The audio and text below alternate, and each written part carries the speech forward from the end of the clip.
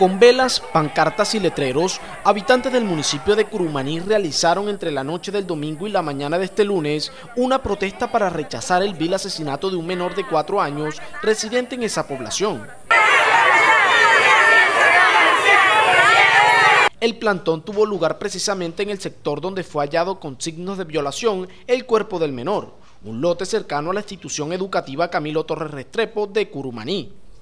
La actividad contó con la presencia de centenares de personas quienes mostraron su preocupación y además el rechazo por el asesinato del niño de cuatro años, identificado como Johan Rodríguez Rodríguez, quien fue hallado boca arriba y semidesnudo por transeúntes. Algunas de las pancartas utilizadas evidenciaban que a los niños hay que protegerlos, que cuidarlos y que no pueden ser asesinados. A raíz de este caso fue convocado el Comité Consultivo para la Prevención del Abuso Sexual con el fin de que se haga presente en Curumaní en donde se presentaron estos hechos.